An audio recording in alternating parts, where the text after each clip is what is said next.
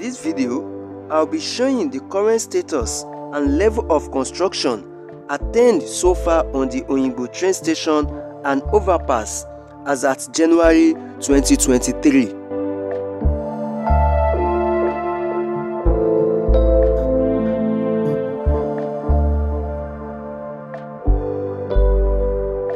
The Oyingbo flyover is one of the five flyovers presently under construction by the Lagos State Government along the Red Line corridor.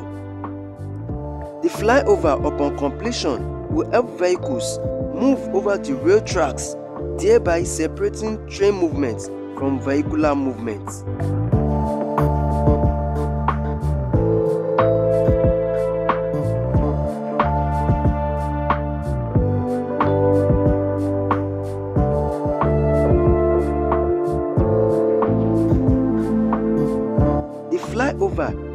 At Oyingbo will help vehicles to link Apapa Road from Muritala Mohammed Way and also vehicles from Muritala Mohammed Way to link Apapa Road.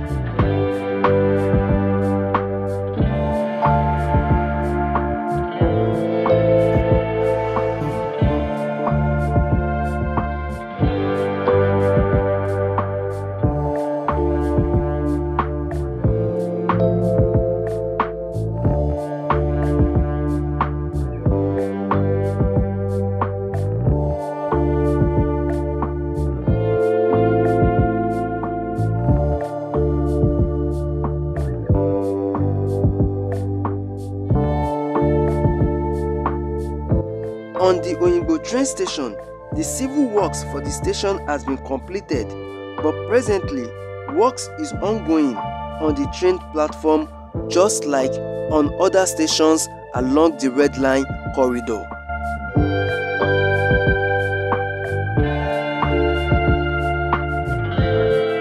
The Red Line project hopefully will start by first quarter of 2023. So the construction is expected to be completed before then.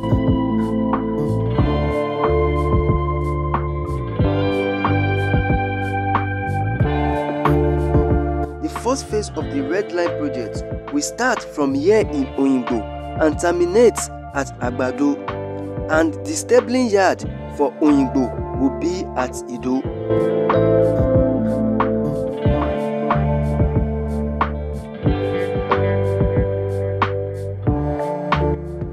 The Red Line will be sharing rail tracks with the Nigerian Railway Corporation from Agbado to Ebute Metta while it will have its dedicated track from Ebute Metta to Oyingbo.